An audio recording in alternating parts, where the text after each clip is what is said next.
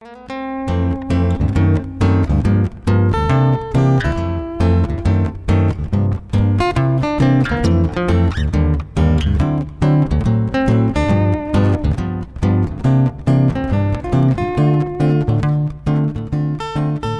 all for coming.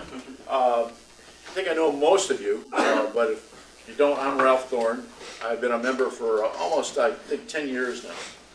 And I'll tell you a little story about one of the reasons I joined the club to begin with. Is uh, when we were over at uh, Kentech, we used to do these tent sales once a year, demo demonstrations.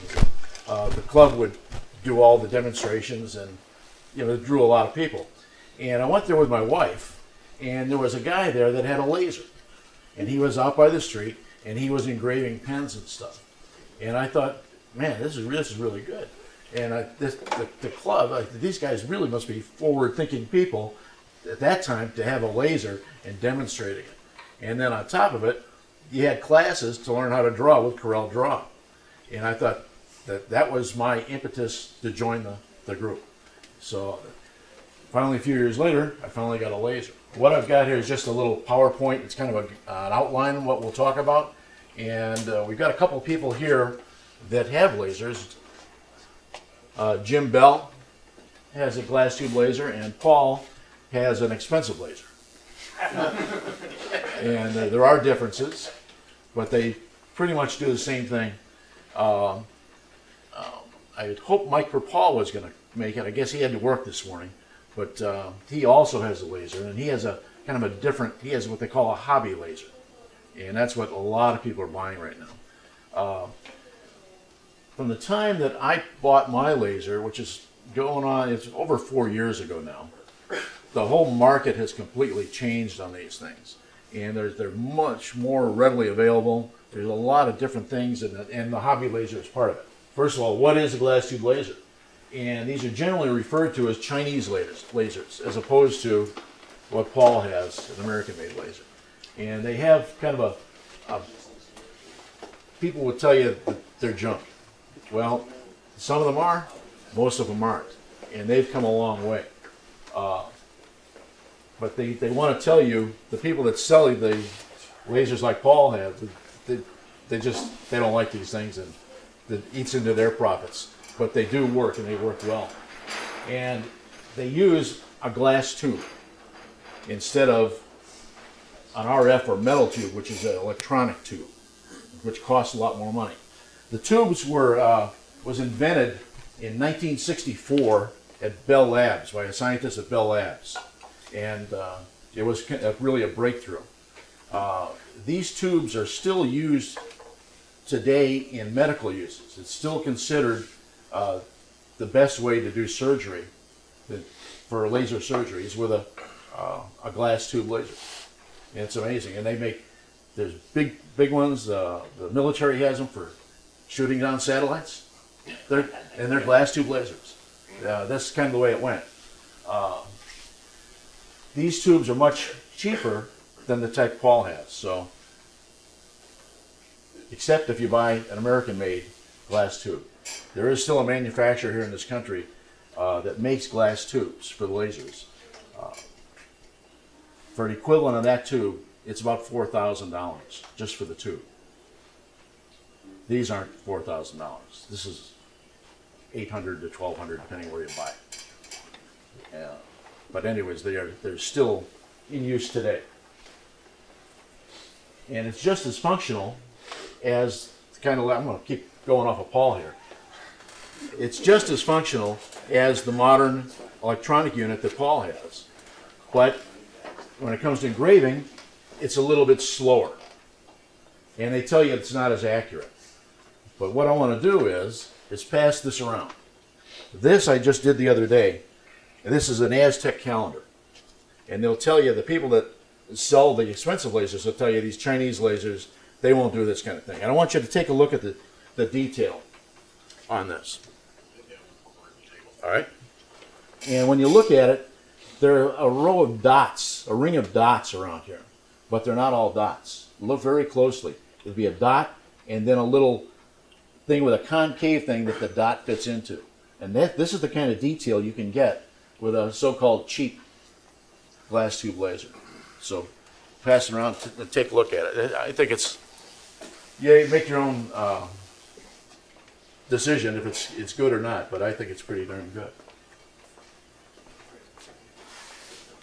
These glass tube lasers usually use uh, uh, com- components that are a little less expensive, and that includes uh, they call stepper motors. And the stepper motors is like those stepper motors that you have on your. Some of you guys bought little lasers. They got tiny little motors on them.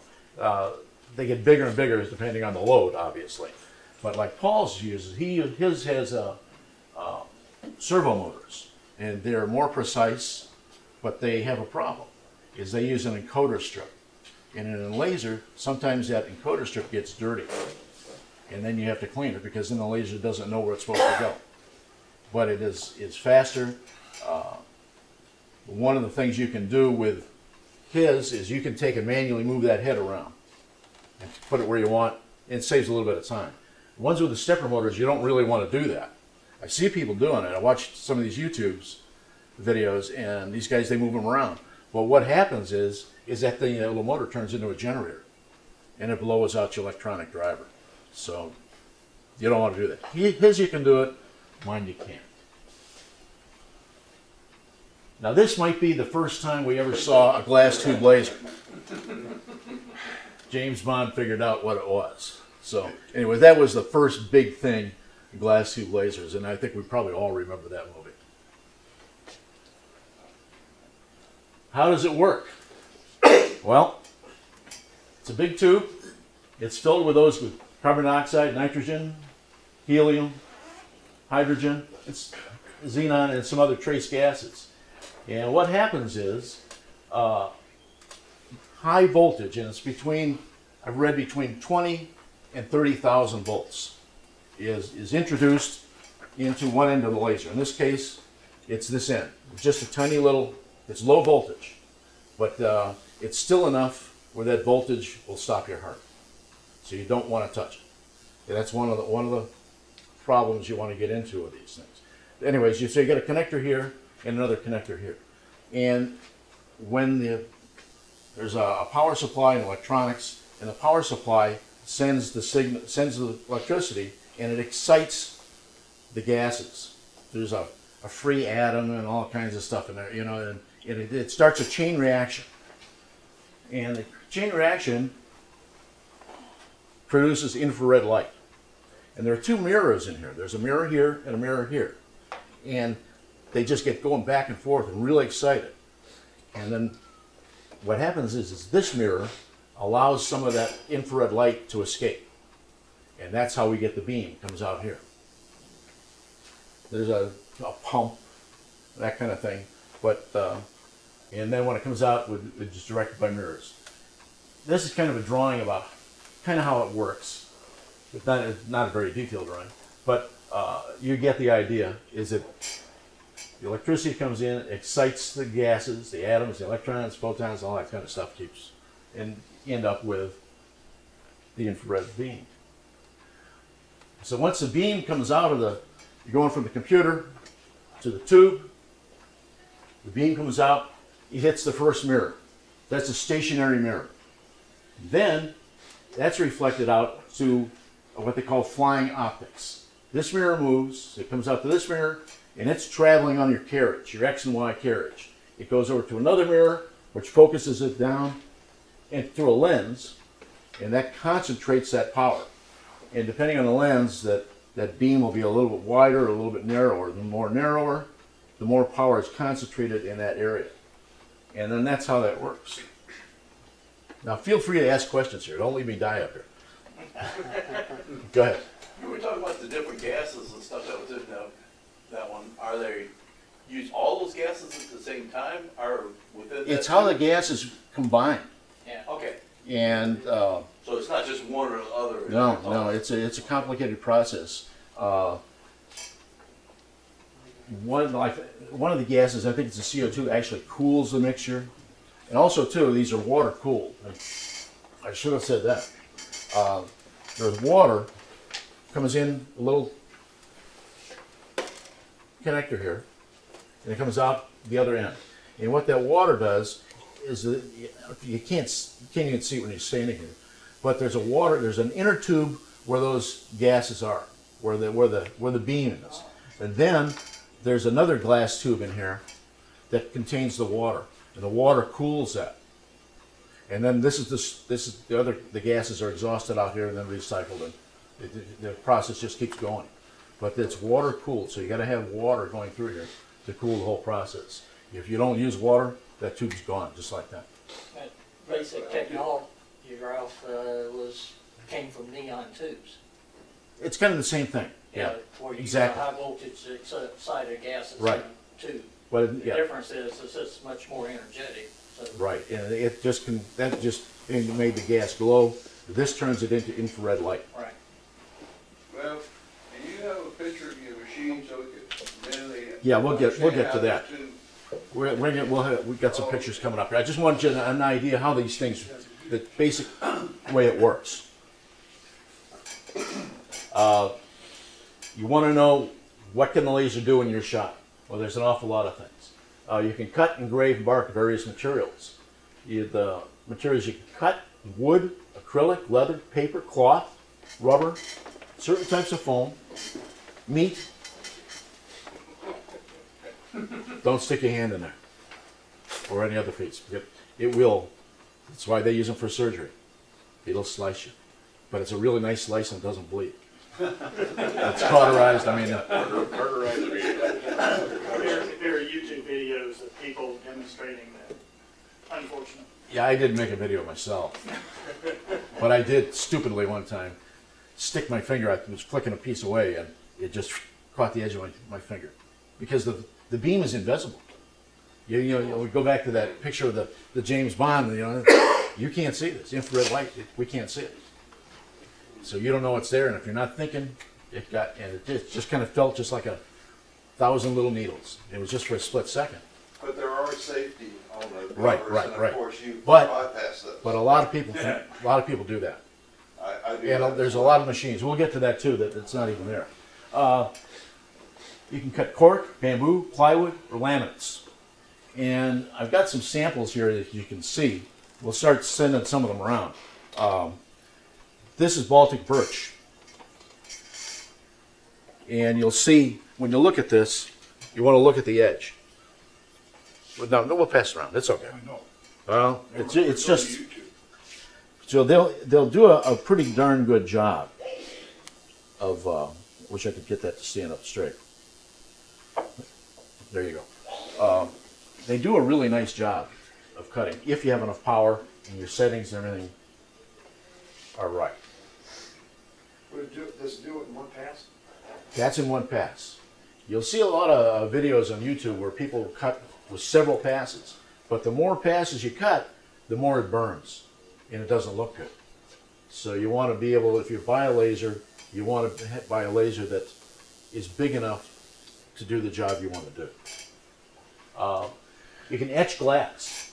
Mike told me he's been etching glass with his. I think he told us that a I've, couple weeks I've ago. etched, um, I've got a big, uh, uh, entertainment center that I used to have, the different that I etched off, that does a terrific job with just plain old plate glass, you know, uh, Right. you buy it, Home Depot or whatever. But there is a difference between etching with a laser and conventional etching. And if you put the two side by side, you'll see the difference. Well, for one thing, when you laser etch, you run your hand across it, it feels It's rough. It's, it's, Oh, you know, because the glass is fractured. should, uh, Right. The glass is, the surface of the glass that. fractures and it is, it's, it doesn't feel good to the touch, Right. you know? Uh, con- conventional glass etching, use aluminum oxide for the most part, and you get a really nice, smooth, even surface. And if you know what you're looking at, there's a big difference. So I know a lot of people etch glasses. What's that? It really does look. It, it looks really nice, but if you're gonna do a glass, which somebody's gonna have their hand on it, Yeah, yeah. I'm not so sure Yeah, that and- that's and what you wanna cabinet do. Where I've got the edge part inside. Right. So, you know, it, it's perfect for a cabinet, but I would never want to etch glass. but a lot of people do. So anyway, uh, etch glass, uh, you can etch corian, and I suppose you could cut it multiple passes, but I wouldn't want to do that because you'd make a big mess. Uh, anodized aluminum, you can etch the anod- the anodized portion. They make it this is one of the really good things about these machines. I, I haven't done it, but a lot of people do. Is you can make little signs, dog tags, things like this with ex, with anodized aluminum because the the uh, the laser burns away the the anodization. So you get a two color. It's it's really really nice way to do it. You say can- etching, how deep is etching?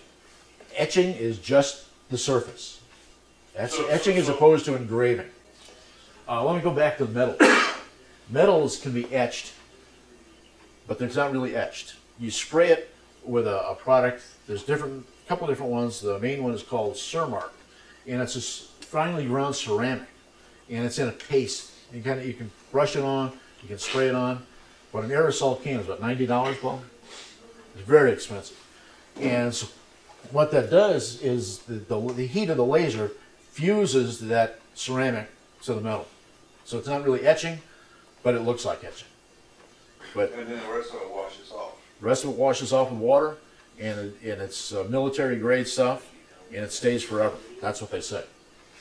Uh, marble again, you can do that. And there's a variety of uh, special materials uh, that you can engrave or etch or cut that are available from sign and trophy suppliers. I've got some examples here, and this is one that Paul just brought in. This is a plastic, and it's a two-layered plastic, and the white Again, I, I never think about the camera. The, the white is just a layer on the top. And in this case, Paul has cut away the white and into the black background, and then he has cut through. You hold it up to light, you can see where Paul has cut through. He's got a couple little tabs that hold these things. So we'll pass this around. But this is, and you can get really incredibly nice uh, etching with this kind of material. I mean, it, acrylic really works well with a laser. So you pass that around. Then there's a lot of different varieties on kind of on the same thing. Here's a couple here. We'll pass around too. Like a gold surface or a silver surface. That's another silver surface. But what you can do is the you can etch these and cut all in the same time. So it's incredibly quick, and it really uh, makes a, a nice sign or, or display or trophy. What are some of the things you can make? You can do fretwork. That's the obvious thing. But it's laser cut fretwork. You go to sell things like Hans does. I don't think Hans could get the kind of money he gets for his work if it was laser cut. Because people are buying handmade things. But having said that, there are a lot of people that do Christmas ornaments, do jewelry. This in this case, just a little pendant. That, there's a pendants that I make, um, and you can get really fine lines with this kind of stuff. That you would be hard pressed to do that with a scroll saw. So this is mahogany plywood. This again, this is available from these sign suppliers. There's all kinds of things we can do with this. We'll pass this around too. But when you take a look at this, look how how small these details are. And the, the laser's still going to be switching on and off, giving it varying the power. That's how it does it. It varies the power as it moves across, and that's how you get the different depths of the of the cut. Sorry, question, how long did it take to make your Aztecs? Uh, almost 25 minutes. Now, Paul's would have done that in half the time. And here's why. Paul has the electronic tube.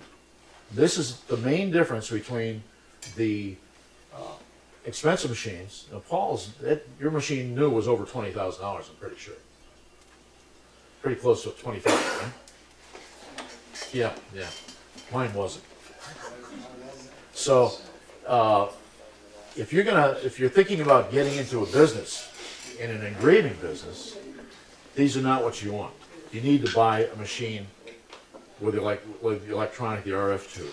Uh, the reason is because it switches much faster. It switches that beam on, on and off much faster. So you can, uh, you, you do what they call it a rastering mode. And it's, this is rastered. This is one we, we did here. Paul did, did this one. And Paul, this is a pretty much almost vector. You cut these lines at what they call a vector, which is I should tell you the difference of this. The vector is what you use in cutting, and it's in, the, in your drawing. And the, the, the laser just follows a line.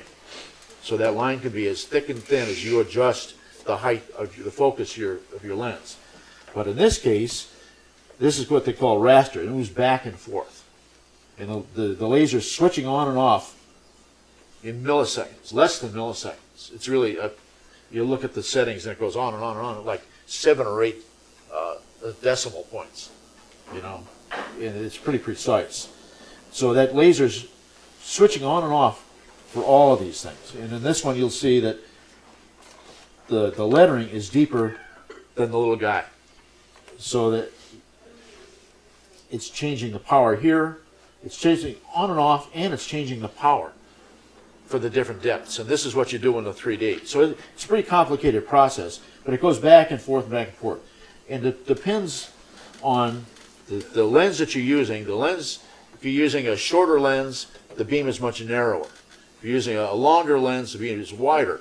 So the narrower lens is going to take longer to do than the longer lens because the beam is a little wider. So you, you can adjust your machine to step over, you know, for every step over for each pass. Is that his his machine will do that thing that we passed around in half the time that it took my machine. But the end result is going to be pretty darn close. So if you're going to get in the engraving business, a trophy shop, or you think you're going to make plaques all day, you're not going to. It's going to be. Not, I'm not going to say you, you can't compete, but it's going to be very hard to compete with someone who has a, a machine like Paul's. You can do it, and you may want to do it if you're thinking about getting into business. You might want to try it to get your feet wet, but knowing that you're going to have to step up eventually to be There, competitive. there is one other thing about those, spe- I mean, the, the, the, the RF machines is they're for, uh, they can be made much smaller because the, Yes, the RF tube is, is right, only about this long. It's, it's not very big. right, right. And of course, on yours, the machine's gotta be at least that wide because that Yeah. mounts in the back of the Right. machine. Are they also employed, the RF tube, are the infrared also? Oh yeah. Yeah, Yeah. same, same, CO two. Ten thousand So- four hundred We can, Rob. Where's Rob at? Exactly, right Can we on. pass this around? Sure. Right. Yeah. Um, yeah, the other, the other thing, uh, the, uh, the glass tube machines are still just as fast at cutting. Because we're not switching the beam off, off and on. We're just dealing with power, and you still get the same power. And you still get the same physics involved, how fast it's gonna cut for the power. So that's all equal. Uh, the, the, the more expensive machines, this is where it makes the difference. Uh, patterns. These are really handy in my shop. If I make a pattern, instead of drawing it out and then going on the bandsaw or, or the scroll saw and cutting it, cutting it out, I draw the pattern on the computer. I take it with a laser. I cut it out. I'm done. So now I can take, like, for instance, cutting boards. You know, I can put my shapes of cutting board, cut it to size, I got my pattern that I've created with a laser, just draw around, then I go to the bandsaw. You know, so it, you could have all kinds of different patterns that you normally would draw and cut and sand and shape. Much quicker just to draw it on the screen, cut it with a laser. And you're cutting paper here or, or construction. No, I'm, I'm talking, I'm talking about like, like a plywood pattern or an MDF but pattern. It's so much faster when you're cutting thin material like that. Right, You can cut right. a pattern in- Yeah, or you could, you could use acrylic. You know, there's all kinds of things where you can, you know, a thin Baltic birch, quarter inch Baltic birch, MDF, you know, any, any kind of, uh, inexpensive sheet good, you can make your, your patterns to do your job, uh, much quicker this way. Uh, Inlays and overlays, uh, like the, the comeback box that you had here the other night, had an overlay on it. Was it just a cutout uh, and, and attached to the box? these things they, they excel at doing that stuff.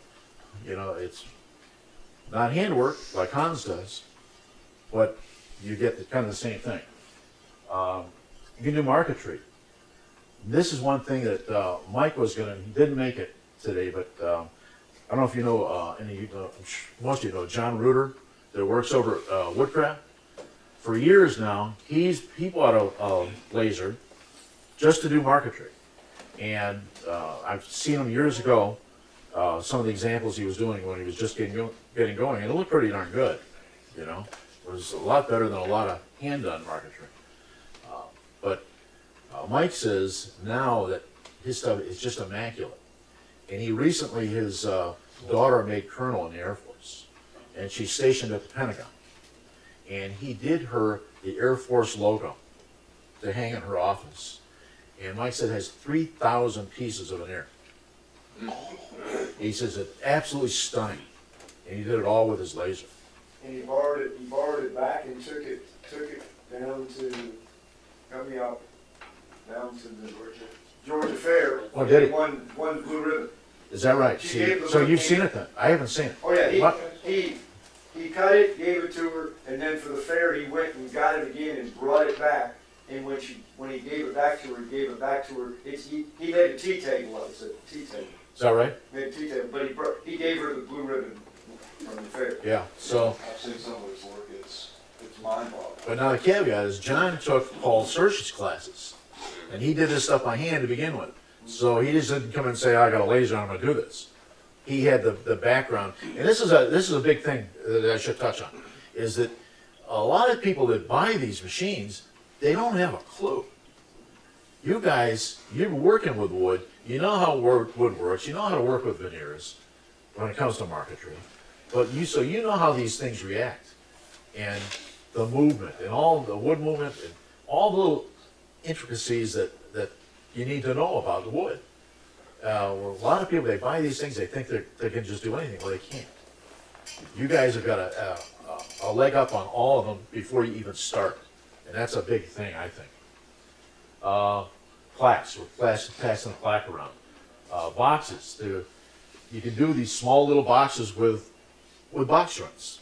A lot of people do them, you see them at craft shows and stuff. I don't care for them because they just, they look like they're done on a machine, but you can do it if you want to. Um, ornaments, like Christmas ornaments.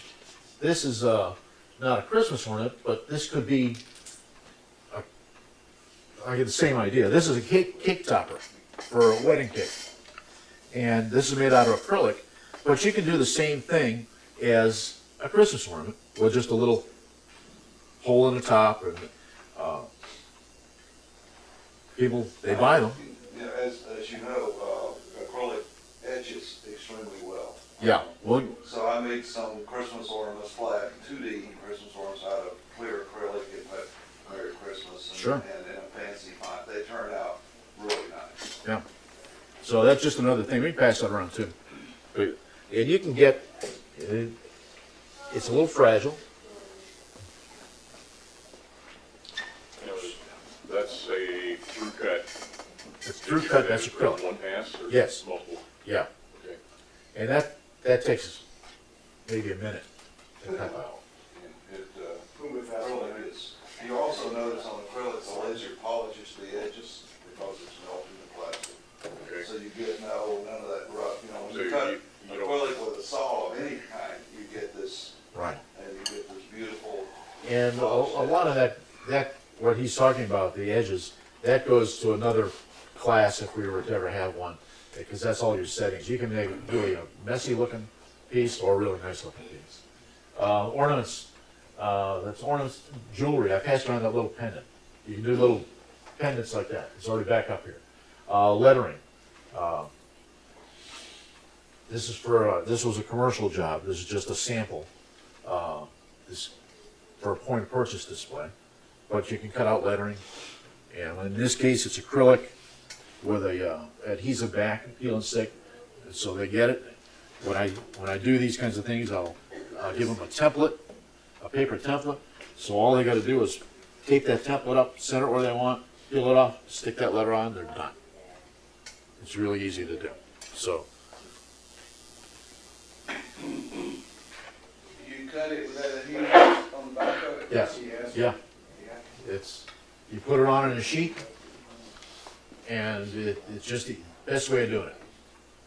Uh, things you can etch, you can etch boxes, tops of a box, you could put hearts or somebody's name or, or whatever, you- it's all your imagination. So, one thing to say about that is how, how, how deep is your machine, like 12, 14 inches? It's sixteen or eighteen or something. Yeah, So these, these big machines have a table that you can raise and lower, so you can put a box that's up to eighteen inches high, lower the table down, so that you can. But most people aren't gonna use that, but, you know, could, but it's, to have that capability is good. Um, pens, we all, you guys have bought those little things, the do pens, so we all know that.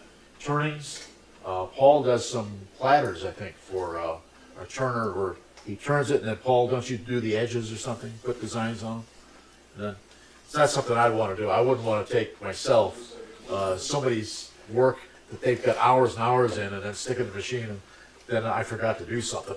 it ruins his piece. Paul has the confidence to do that. I'll do it on my own, but I'm not gonna take yours and do it. Uh, signs and plaques, and the list goes on. It's just, it's only limited by your imagination. And, uh, this is an example of, of just imagination. This is something, my son makes his living. Bob knows my son. They go to the same gym. And, uh, so I get reports on Bob, whether Bob's been in the gym in the morning. I know if he's been a good boy or a bad boy. So, but anyways, my, my son makes his living in the hobby business. He, he does, uh, slot car related things. He came to me this week, I think it was, uh, Wednesday, Wednesday, morning, Wednesday afternoon, Wednesday, Wednesday morning. He said, Dad, I got an idea for a, a, a tool. I said, well, just draw it out. And so he drew it out. Uh, he sent it to me. You know, because this is the beauty of this kind of stuff too, is he puts it in Dropbox. I'm at home. I open it up in Dropbox. I go out in the garage and got that file and I cut. You know, we don't have to be there. He doesn't have to draw it on paper, hand it to me and trace it and cut it. You know, it's all done just like that. So anyways, he, he comes to me and he says, I got this idea. I'll draw it. And I, I cut out a prototype and I brought it over. And he made a couple changes. I made another one and bought him the second one. He said, yeah, this one, this one fits good and it's gonna work good. What the- they use this for is for some kind of body, the mounting bodies on stock car chassis. It's got tiny little holes in it. That's where the, the bodies are mounted. And somehow this fits inside the body and kind of thing. So anyways, that, he says, I'm gonna put a decal on. He, he makes decals. And he put, puts a decal on, he says, I'm gonna put a decal, uh, decal on it, put it on my website and post it on Facebook. He called me two hours later and he had already got a good response. And the following day, less than 24 hours, he had sold 70 of these things in three different countries around the world. So you just never know where these ideas are going to come from. You know, you might be limited in what you're thinking, but you start, other people know that you've got a machine. They go, Can you do that? Oh yeah, I think I can do that. And then it just turns into something like, holy cow. You know, just like that. Done a You never- on it yet? What's that? You done a patent thing on it yet? He should have. But they, uh, you know, cost you thousands of dollars, but Most of the crafts that people do, once they come up with something like that, it's twenty, thirty thousand dollars for a patent, Yeah. So and you really can't do it It takes, it takes months and months and months Yeah. to get it. he's already made enough money on this to uh, probably half pay for a, a small machine. So it's it, it, it's that easy. Well, he had a Carl. good, he had a good manufacturer. That's true. But take, as you're looking at it, take a look at the tiny little holes that that laser cut. It's really, and there, that's a big hole. You can do them much smaller. Carl, One of the favorite things that I've seen for me is this guy had big pieces of leather and he uh, lasered old world maps on them. It Uh-huh. was really, really pretty. there you go. He made a fortune doing it. Yeah, it's just things you never think of. But other people have these ideas. If they know you got a laser, Ralph, uh, as an aside, a patent only protects you in the US. It Right. doesn't protect you I from know. knockoffs coming out of India Yeah. or China. yeah, I, I know he, he- he sold those in Australia and someplace else. But he sells, he sells stuff all around the world. He sells stuff in Japan and Sweden, Czechoslovakia, the UK. He, my kid's a pretty good salesman. He sells tires, rubber tires to Brazil. Brazil's where the rubber comes from.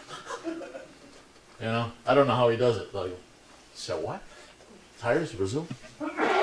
So anyway, what are the benefits? You'll be able to do things that most people can't. You can, also the, the laser, you can, if you're embellishing your work, you can increase the perceived value. If you're selling at craft shows or online, if you can engrave your work, it's gonna be worth more money. And like, like this thing, you'll, you'll, you'll find things you never would have thought of before.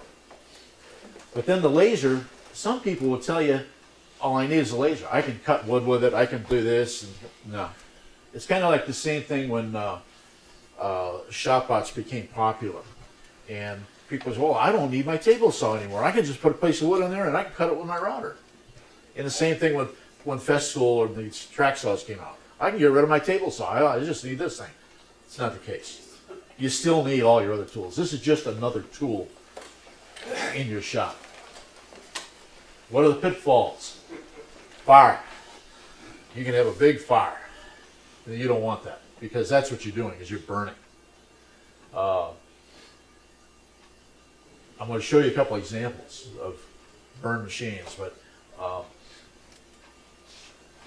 this kind of work. Uh, there's a guy I follow on YouTube, and when I first bought my machine, there was information was not around, you know. But now we got guys like Steve, you know, and Steve, if you watch his video last night, he's he's helping all you guys. He's out there telling the world to go to the show and come see y'all.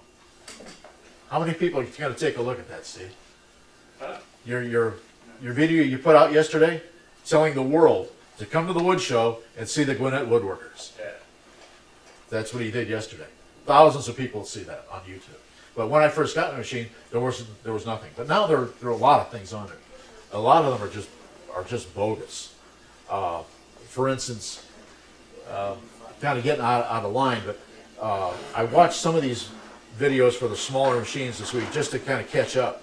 And I saw one where it's a guy, he's got an inspection mirror, a little mirror on the on a telescoping piece. And he's got the lid open on his machine. And he's got this mirror underneath there, and he's doing multiple passes trying to cut through this material. And he's using this mirror to see when the laser has finally cut through. He found out. I don't know. There was also laying in the in the bed of the machine was a Bud Light cap, you from a bottle, you know. But anyways, I follow a guy. He's a, he, he's in England and he's a, a retired uh, engineer, and he bought one of these Chinese lasers to uh, uh, just play with it. You know, like a lot of people do. They just buy them to play with it. And he's a pretty smart guy, and he's done a series of videos. Uh, I watch it because the controller in his machine is the same brand controller that I have. And so I, you know, I've, I have learned some things, but he goes through a lot of technical things, how that tube works and the atoms and all that stuff like that. You know, that's that's real nice, but I don't need to know that. You know, Bob knows that stuff, but I don't need to know that. Uh, anyways, this guy, uh, my point I'm trying to make is he's a really smart guy, and he was doing something. He cut out some wood, and the type of his machine, he cut it just on the bed of the machine. He went in and he's got an attached garage. It looks like it's a very nice house, paving driveway, paving block driveway. Guy's got some money. He goes in the house to clean the thing that he had just cut. He came back out, his laser was on fire. It was the wood that was still in the machine that was part of the, was the piece that he cut away from. And he showed pictures of it. And it was, you know, I give the guy a lot of credit. You know, he's, you know, I made this big mistake, but don't you make the same mistake. And he was able, his, his house didn't burn down. But there are cases, people that burn, burn down their garages, burn down their house. It's, and it happens really quick. Then the other thing, the other two things is your wife and your neighbors are not going to like the smell of this stuff cutting. Your wife and neighbors won't like the smell. If you're cutting acrylic, my wife goes, "What's what's that? That's yeah, that's don't worry, that's me. I'm making money." Oh, okay. you know, there's the difference. Was for me, it'd be just it, but if I'm making money, it's okay. He's making money. And I- I've told this story before too. Uh, I don't want to run too late here, but I've told the story. The first time I fired this thing up, I got it in my garage and I run my exhaust hose outside and I fire that up and I'm cutting some wood. And my wife, and it's around supper time. My wife comes out. She says, "There's a fire truck in front of the house." They, somebody had called the fire department because there was smoke. You know. and I, my wife thinks she knows who did it, he, he's dead now, so I'm, all- I'm okay. but, uh, but you know, I've, I've got a standalone garage in the backyard, and I, I see the fire truck goes around, and there's a cul-de-sac behind us, you know, and they park there and they're looking around. I just closed up the doors and stuff, went and ate supper, you know, and came back out when were doing. But so your your neighbors, if you got neighbors that are close, you got to be aware of, you know, of them. This is a laser. This is last month. This was in the AJC. At Chamblee High School was evac- evacuated on Friday due to, due to a fire related to a laser engraving machine. And there's the DeKalb County Fire Truck, the firemen. This is just last month. So these things happen all the time. If you walk away from that machine, you're crazy. You, you know, there are people who say, "Well, I can just put this thing in here and I can put them on laser and I can go do something else." You're a fool. You do that because you're burning this stuff, and it can get out of hand just like that. And do you want a fire extinguisher? And I'll show you at the very end. I'll show you pictures of mine. I've got a, a big CO2 fire extinguisher mounted right next to my laser, and especially when I'm if I'm cutting acrylic, I barely glance away. If I'm cutting wood or engraving, it's not so much a problem. If I'm cutting, if I'm engraving, I'll stay within uh, 10, 15, 20 feet maximum of the machine, and I'm always going to glance over. I might be putting something away, but I'm not working on something. I'm not. It, it's not what I'm doing is just sweeping on the floor or something that doesn't get my attention. And I'm always glancing at that machine. But you got to have a fire extinguisher. Uh, anyways, this is, it might be hard to see, this is a laser that really got burned. And you'll, you'll find these stories all over the place. Is there anything you need to learn before you buy a machine? Yes. You need to learn a drawing program, like Corel Draw. I think you use Corel? You know how to use Corel? I use Corel, and that's like I said to begin with. It's one of the reasons I joined. But Paul uses a different program. He's a he's a Mac guy, so he uses Illustrator, Adobe Illustrator. See, Paul does everything a little one step up from everybody else. Paul Paul's an engineer, you know. So that's how they these guys you know they sit together, they do all this stuff together. You know, that's how they do it. Be careful what you say. See, look at this this whole front row. There's all these engineers sitting here. You know? We got the PhDs, you know, we got these all the smart guys, and they, they, they make the money to afford the good stuff. I don't, you know. I'm a beer guy, you know. I'm not a champagne guy. So, anyways, you need to if you're gonna, if you're going to buy one of these things, you need to take the time to learn how to draw in a program. You can use DeltaCAD. You can use any of these other programs that'll that will uh, give you a file that your machine will accept. And these machines will accept a lot of different formats. And uh, but you have to do that. A lot of people won't do that. Well, I'll just get something online. Well, you, can get it online, but it's not yours, and everybody else has got it. If you want to stand out, you got to do your own thing. You know, just like that little any, any of these things we sent around. That's none of that's online stuff. That's all stuff I created, and that's what you need to do to stand out. Otherwise, why buy it? Uh, how do I know which machine to buy? First of all, you want to know what you want to do with the laser. Do you want to engrave or you want to cut? And we talked about that already.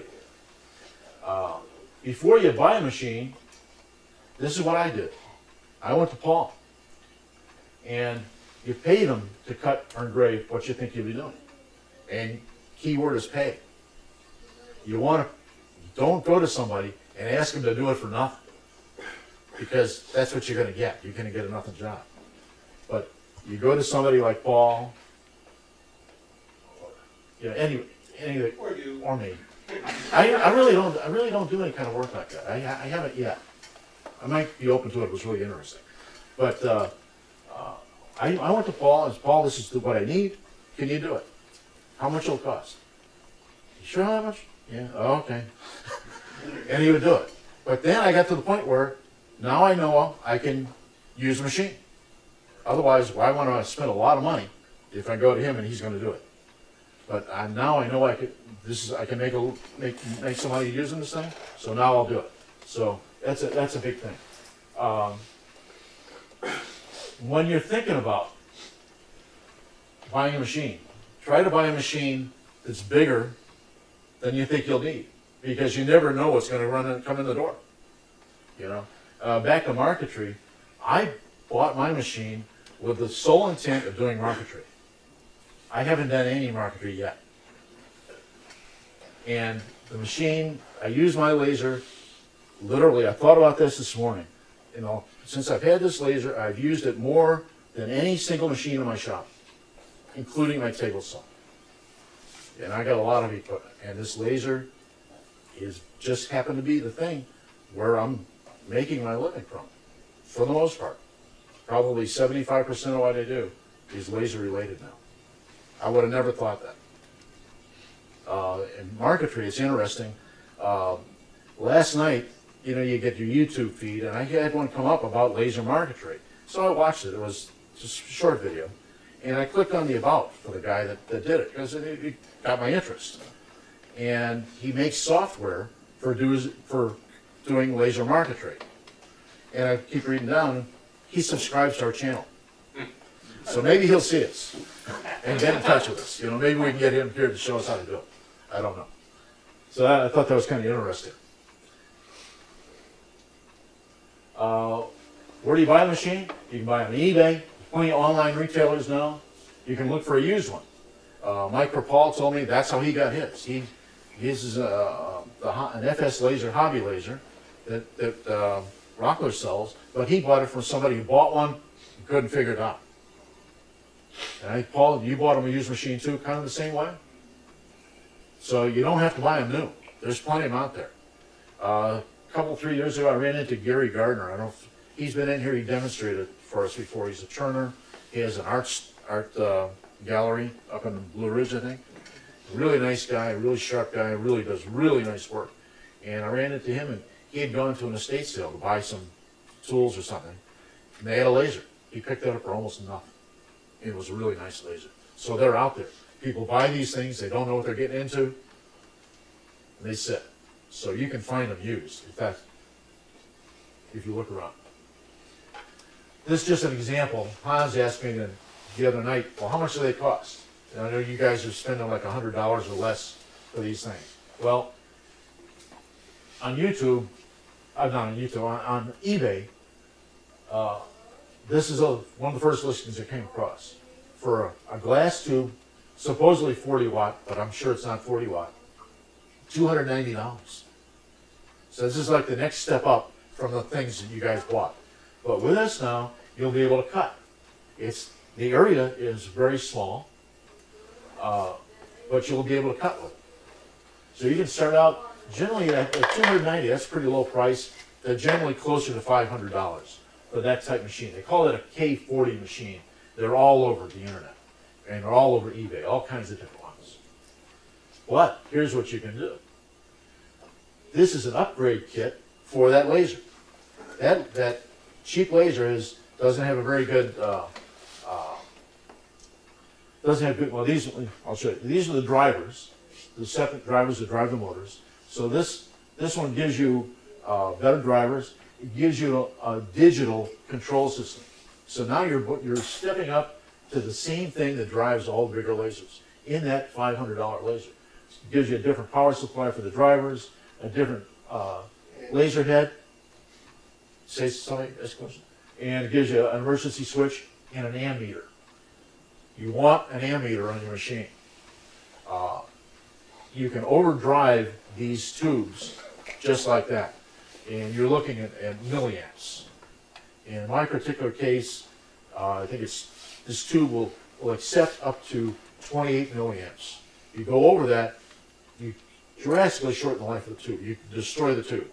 I generally cut 25 to 26 milliamps, and I, I watch that meter as I'm cutting because of details with the temperature, temperature changes, a lot of different things change. That that meter is going to move because just different factors. So, anyways, you can step up from a five hundred dollar machine for about another five hundred bucks. So for a thousand, you're gonna have a machine. Might have a small area, and these, these machines they even make them with adapters to give you a motorized Z axis for like another hundred fifty bucks. So you, if you wanted to, you could build out one of those machines. The next step up is one of these. Uh, this is a little bit bigger. This has a motorized table, and it it has actual uh, the uh, the carriage. Don't have a pointer. This rides on actual bearings, where that uh, the cheaper ones just use a roller. So these are very precise, digital digital control. It does not have an ammeter, but the price is pretty reasonable. And the fellow I talked to about in England that does these videos, this is the machine he bought. And it's just as capable as my machine, his machine, or Paul's machine. That's, in the scheme of things, that's not a lot of money, and you can finance it with PayPal. Sixty-four dollars a month. So anyway, th- those are just some of the things. This is my machine. You can import one yourself. You don't have to do this anymore. Now there's a lot of places that have these things sitting in the warehouses. At the time I bought mine, that wasn't the case. I dealt directly with a company in China that makes them, and they, it was, it was a good experience. I heard, heard all kinds of horror stories about, you know, they're gonna take your money, you'll get nothing, it's a piece of junk, da, da, da, da. You'll get no service after the sale. That wasn't my experience. Uh, This is just a picture of my machine as it was being created to be shipped. And they, they kind of not hold your hand, but they, they make you, uh, this particular company lets you know along the whole process what was happening, and they would send you a picture. This is, and that is actually my machine. And that box that, you guys, that, yeah, there's that box with that black and white, or your yellow and black tape on it. That's out here someplace. So that's just the it came. This is a honeycomb cutting bed that goes in the machine. I've never used it yet. Okay, so anyways, you can you can bring you can bring in your own if you like to. Um, what do you look for? Safety is the key. You want a machine that's FDA certified. And in my case, they sent me the, the, uh, they emailed me the uh, certification from the lab that did it in California, and you know, so I felt confident with it. And there's a lot of with the Chinese stuff, a lot of counterfeit stuff. I don't know, you gotta be worried. The tube manufacturer, in my case, I went with a premium tube. And I, because I researched all this stuff. A lot of these machines you're gonna buy are gonna have just a, a low quality tube, not gonna last a long time. Uh, you- Then you're gonna have to buy a new tube. So far, uh, another thing about these tubes is they're rated, like this one's rated for ten thousand hours. What I didn't know at the time is ten thousand hours is from the point when it's manufactured. It's not use. The tubes have a shelf life. They lose the gas. They have a shelf life. So if you're gonna buy a tube, you want a fresh tube. And that tube is, I've seen that tube now, that's an extra that I bought with the machine. I bought, I thought, when I bought the machine, I was gonna be in a wasteland. So I bought extra motors, extra controllers, extra tube, extra belts, I bought extra power supply, bought pretty much everything, just in case I wasn't gonna be able to get these things. All the consumables, I got two of everything. I got one on the machine, I got another one sitting there to fix. That's another thing with these machines is you need to be able to fix it yourself. If you're not a fix-it guy, you don't want it. If you're comfortable putting a computer together, you got no trouble doing these things. It's just the same thing. It's all plug and play. A few, you know, slice a few wires, you're okay. The hours of light, just hit that. The ease of adjustment. Uh, we'll go back to that same guy in England. Uh, he was adjusting um, his carriage for square. It was- it wasn't square. And he had to do all these, take it all apart, do this and that. It took him several hours to do it, just for a simple adjustment. On mine, the same adjustment, just a simple coupler with an Allen screw. Take it just like that, that's adjustable. So you want to look for ease of adjustment. The type of guide rails in the machine. Some of them have bearings. They'll have a, a, a it's the same type of bearing that comes on uh, CNC machines. Uh, but some of them use a roller with just a nylon roller. You're not going to get the precision. The type of controller, there are different controllers. And uh, Jim and I both have the same. Paul has is specific to his because he can afford it. but we got a generic one, but it's still, it's really a pretty good controller. That's great. So you want to know what that is. Service after the sale. You buy something from eBay, support after the sale, you're probably not going to get any help after the sale. In my case, I did have a problem, and I got great service. Uh, of course, you have to do it at night. You know, from the place I bought it, they're directly 12 hours away from us. So at 9 o'clock at night for me is 9 o'clock in the morning there. But you work with, through Skype, and you send pictures back and forth, and, and I had a problem, we, we cleared it up, just real quick. Also too, uh, one of the things they sent me was a, uh, a chiller, and I'll show you a picture of it, to keep the water cool. And they sent me one a, uh, it's an actual Freon compressor, little Hitachi compressor inside the machine, like a refrigerator compressor, and it was uh, fifty cycles. And, well, I'll keep it if your engineers can tell me that I'm not gonna have a problem. I, let's see what they do. And their engineer said, we'll send you another one, we don't know. So they did. And this thing, you know, it's like seven hundred fifty bucks. Sent me another one, Air Express. You know, you keep, you keep the old one, it's okay. So depending on who you buy it from, you know, you get good service or no service. You gotta research that. Uh, I said before, you wanna get a machine with an ammeter. If you don't, if the machine doesn't have an ammeter, you can buy one for seven or eight dollars, milliammeter. And then you, you'll find on the internet how to wire that in your machine. The type of bed makes a difference. You know, you use a honeycomb, I have a honeycomb, but I prefer the, the knife edge. You do some research and see which one you think you wanna use. Uh, with the controller, some of the controllers come with a dongle. Know what a, everybody know what a dongle is? It's uh, it's basically a, a key for your machine. Uh, like a flash drive. Sometimes you'll look up flash flash drives. Some you know some of them, they all, they're all USB basically. Uh, I personally don't want to worry about a dongle from something from China. You know, now there are people, there's a particular controller that uses a dongle. Now I see there's a guy in Ohio that stocks the, the dongle, but the dongle's over three hundred dollars for a little USB thing. Because it's the licensing to use the software. Uh, recently, the type of controller that Jim and I both have, uh, they've gone to a, uh, a software, uh, password thing. Did you know that? No, I didn't know The, that. the newer version of our controller, uh, if you, you, and that's what you're gonna buy if you buy a, a machine today.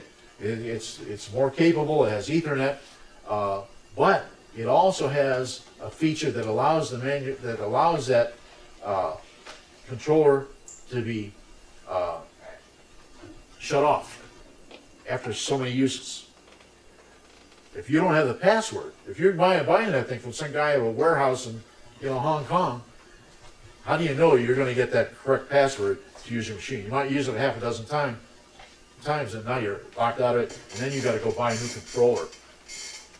Because there's, a- there is an awful lot of the counterfeits, this stuff is counterfeit, coming out of China.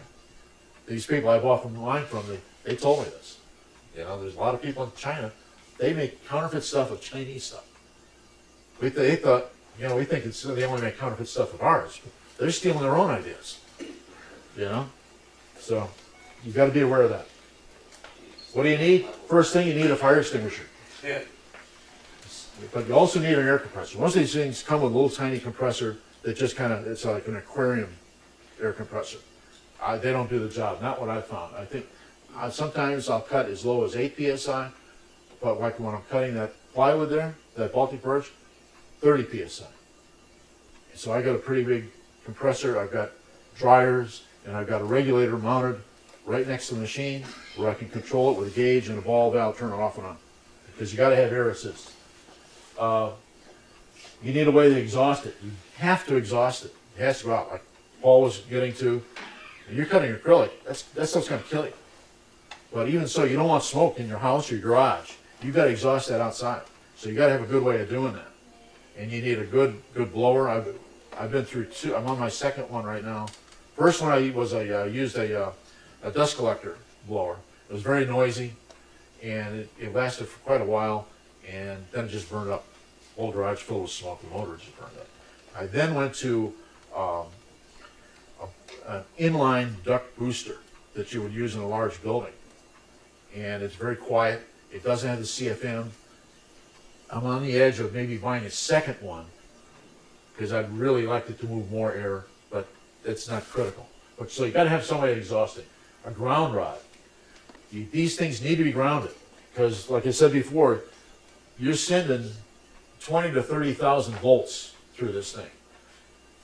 This cracks, or this, the, the, the, uh, the current jumps to your chassis. You're touching your chassis, adios, because it's enough to stop your heart. You know, so you need to run a separate ground from the chassis machine to a ground rod outside. You cannot trust, and I, I went through this uh, when I got mine because people tell you that creates a, a ground loop in your electrical system. I went ahead and did it. I want to be able, to, if I touch the machine, I ain't gonna die. So that's a big thing. A way to cool the tube. These are water cooled. Uh, most people tell you a bucket of water. That's not really good. People in China will tell you a bucket of water with an ice cake. Put an ice cake in it. That's how they say. Uh, but I use uh, an industrial chiller. But in our climate, in the summer, it's not big enough. So if I had to do it over, I'd, I would get a bigger chiller. I got what I got. But what I what I've done is I've taken a uh, just a water cooler, an igloo type thing, small one, and I bought some copper tubing. I made it just like a still. so I, I, I the first thing I did is I insulated uh, my line coming from the machine, from, from the cooler, from the chiller to the machine. That that helped. Uh, so then I, I did my little still thing. So I, the water coming back, the hot water coming back out, first runs through this coil, and I put ice in it, and then it goes in the chiller, and that's that has made the difference. But the ice melts pretty quick. It's gone in an hour. You need a computer, obviously. Uh, my machine, Jim's machine, uh, probably Paul's machine, you can put everything on a, on a USB stick, but then you're at your machine punching buttons, trying to do things. I, it's too slow for me.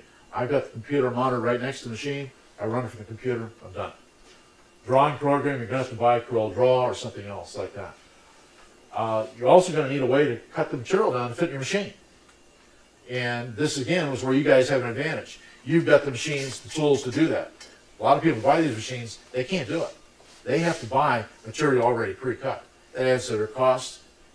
You know, it's, it's foolish. You pay three or four times whatever that, that little piece of plywood costs. Uh, and you're gonna need a sander. to Get the, finish the, the wood, to get the, uh, uh, creosote smoke off.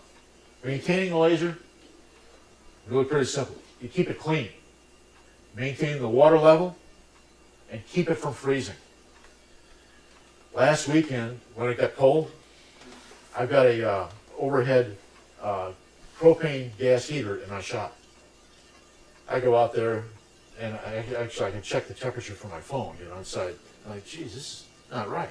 And so it was, I guess it was like last Saturday night when it was really starting to get cold. I went out, my heater's not working. The regulator had frozen. So I'm out there, you know, take out in the dark with a flashlight, undoing the regulator, bring it in, and it had water had gotten in it, and it froze. And it's- had to dry it out, and put it back out, and I'm fine. But anyways, if it would have, would have frozen, there goes my thousand dollar tube. There goes my uh, my chiller. A lot of money. You got to keep it from freezing.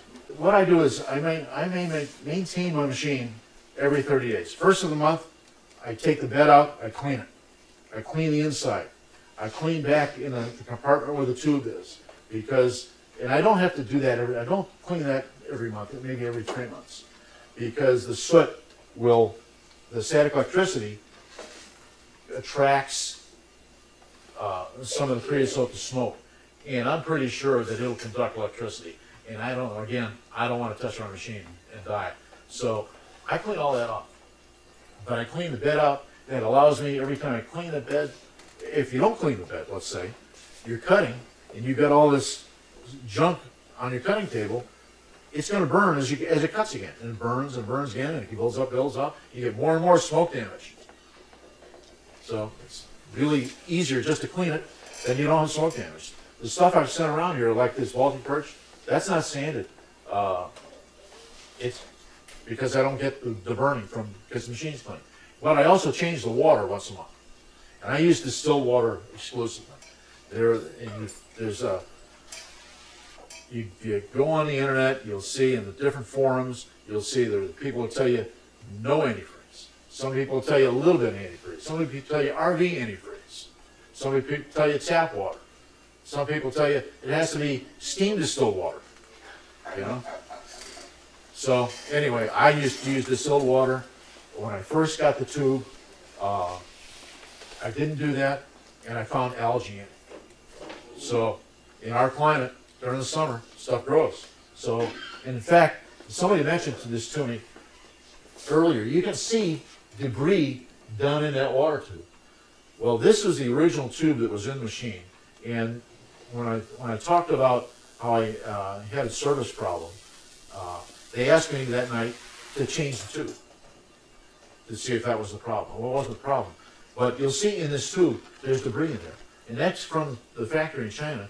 And if I look at pictures and videos of their factory, when they're testing machines, they just got a bucket of water on the floor. And that water, I'm sure, is not changed very often. And that debris is still in that tube. And I don't want that. So I use distilled water. I'm religious about it, and that's what I do. This is my machine the way I've got it set up. Uh, the machine itself is about six feet wide and about five feet deep, but then you need room in the back. The exhaust comes out the back. Uh, I'll get to the table. We've got emergency power switches, but I use a, a laptop and just with a wide screen and a cordless keyboard and mouse.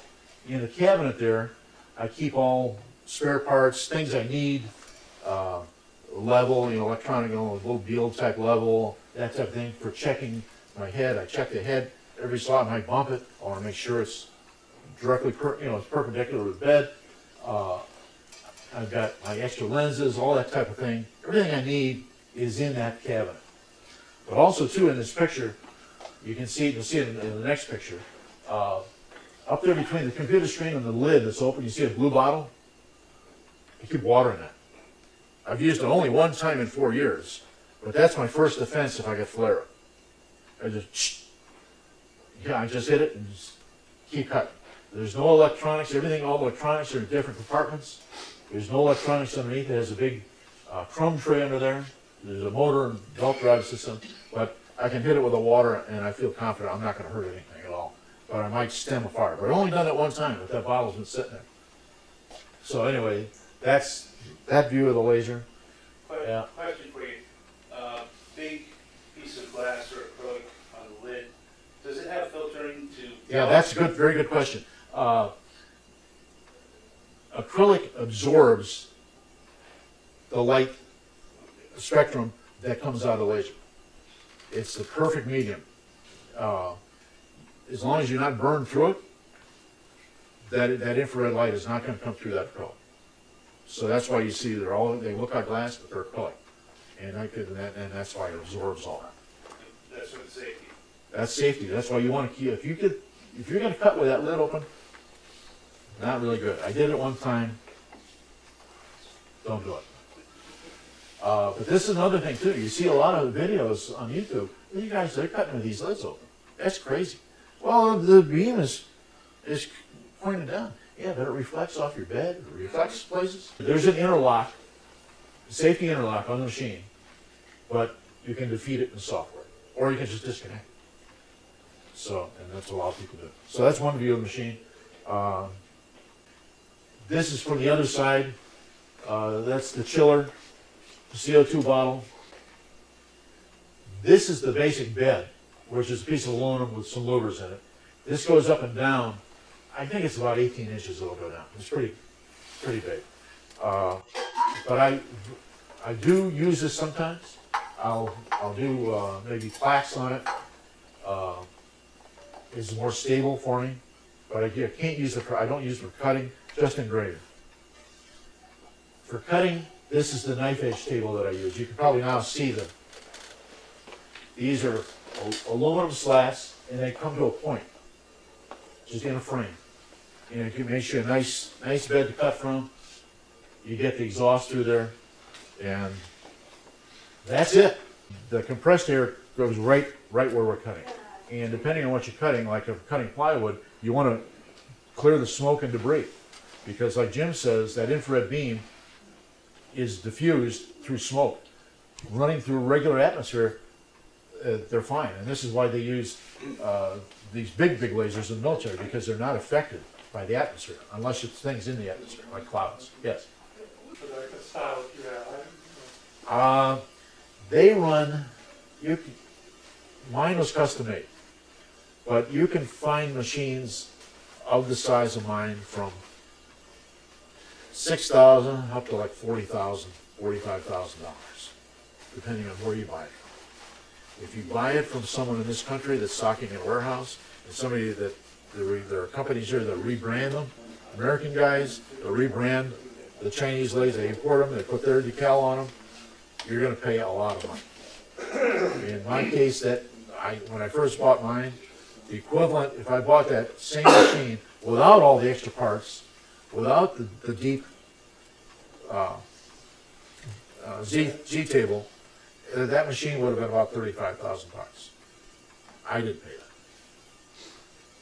But, uh, I got a really good deal by dealing direct. But the freight cost three thousand dollars. Cause I air freighted it over. Because I didn't want it damaged. I didn't want it going on a ship to Long Beach and then on a truck to Atlanta. Ended up, it did get damaged because they flew it to Washington, Dulles or someplace, trucked it from Dulles. I thought it would come right directly to Atlanta. It came to Atlanta, but it came by truck to a terminal that's right next to the airport. And then I also, part of that was I paid uh, a customs broker to do all the work because I didn't want to lose it in customs. And because I'd read stories about customs seizing these things. If you don't have the proper documentation, the uh, certification, FDA certification, they keep it, they destroy it, you're out. Don't matter. Company ship it to you. It's not, not their problem. They, they cover it to the port. From the port on, it's all yours. So it's a gamble, but I paid with PayPal. So anyways, I want to thank you all for staying. Thank you. Most of you stayed awake. Thank you.